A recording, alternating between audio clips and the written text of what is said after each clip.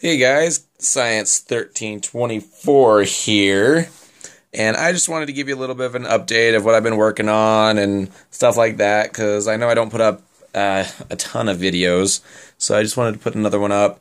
So, I've got a few new few new toys that I'll show you really quick. Um, this is actually a security camera. It's got zoom on it and I can move it back and forth and it's got a stepper motor on it and I was hoping I could control it with the built-in soft or built-in electronics. But unfortunately it uses a VISCA and the control stuff for those are very expensive.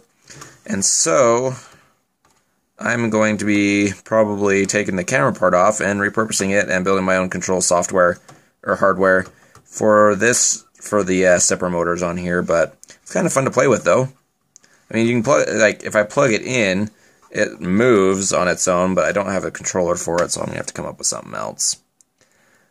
Um, yes, this is a Peltier cell. I've got a better setup over right here, hiding under all this stuff. Um, and I was using it to condense water out of the air because there was it rained. Oh, it was just a couple days ago, and uh, I started condensing water out of the air in my room here.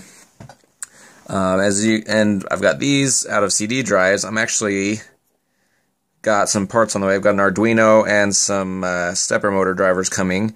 I'm going to turn this so this goes like that into a uh, a laser engraver.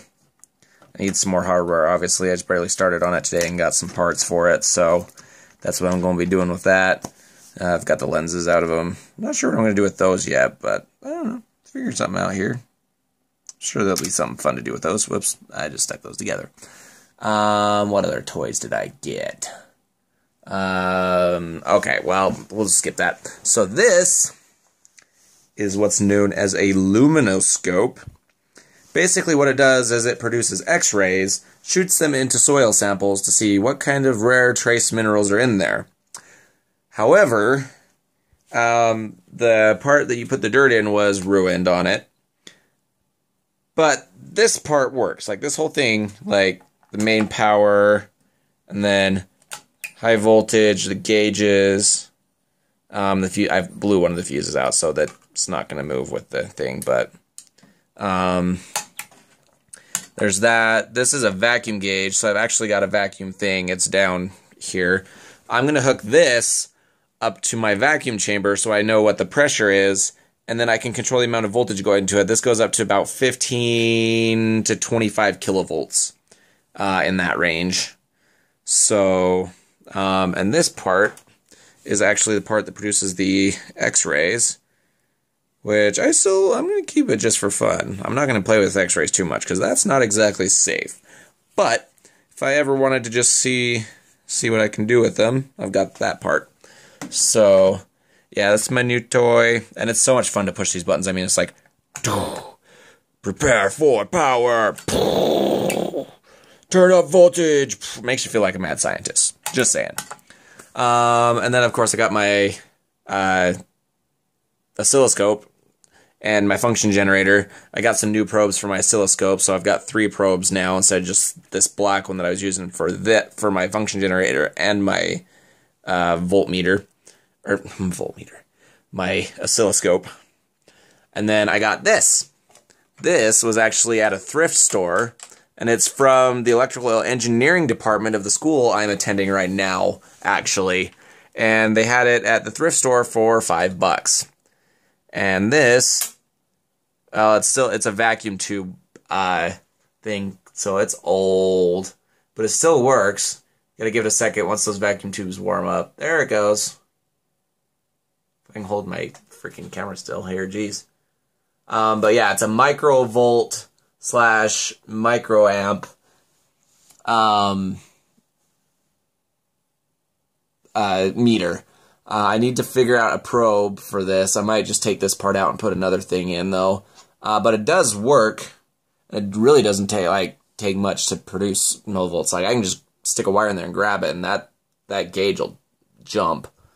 So, but that's pretty fun. I played with that a little bit. Um, but yeah, I mean, that's just kind of what I've got so far. A couple projects, still trying to get. For some reason, after I took the uh, magnetic levitator apart when I moved up here, I've reassembled it, and for some reason it's fluttering again, and I can't get it to go smooth. And I'm using all the same parts, all the same power supply and everything, but for some reason it's still fluttering, and I'm not sure why. Uh, but it's and it's driving me nuts. But I'm gonna keep working on that. Once I get that fixed, I'm gonna put a circuit together, solder everything in place, and make it permanent and make it work permanently. So I can just kind of flip a switch and make it have fun with it. Um, this is one of those extra coolers for an Xbox 360 I found at the thrift store as well for two bucks. Uh, what else did I find? I found a lot of stuff at the thrift store. I found this, which many of you may recognize is an APC or backup power supply. I found this at the thrift store as well, and it was six bucks. Uh, when I first powered it on, uh, it kept coming on saying the battery was bad, so I was like, I don't know if I want it, but I left it plugged in. I actually just left it. They had a plug-in table there, and I just left it plugged in and went and looked at some other stuff and came back, and I turned it on, just pushed the button again just because I was curious. And the battery wasn't bad anymore, or the battery bad battery light didn't come on, so I'm guessing the battery was just dead. And I've actually tried a few times. I've been running my PC off of that with my dual monitors and all my electronic equipment, and I will unplug it from the wall, and it powers all of it fairly well, actually. So it's yeah, it works fine. Not bad for six bucks, right? Uh, yep. And then last thing, paid fifty cents for this. It's uh, temperature gauge and a humidity gauge.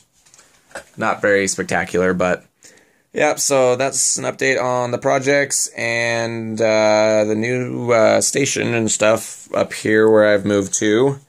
Um, I'm trying to work on some of projects and make videos for you guys in between um, going to school.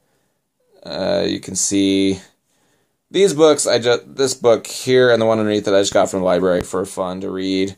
Um, those are for my classes. a couple of my classes I'm taking. My other books are in my backpack. So, and then I found a coin sorter and a pump as well at the DI, at the thrift store. So, uh, yep. So that's about everything I had to show you guys. So, as always, guys, thank you for watching the video. Don't forget to subscribe if you haven't already. Stay tuned for update for more videos, more projects, and fun stuff like that. Uh, if you guys have any ideas you want to share with as far as like this thing goes or anything like that, uh, feel free to leave a comment below. Um, I always like to get idea suggestions for ideas on projects and stuff like that. So, uh, thanks again for watching, guys, and we will see you next time. Bye bye.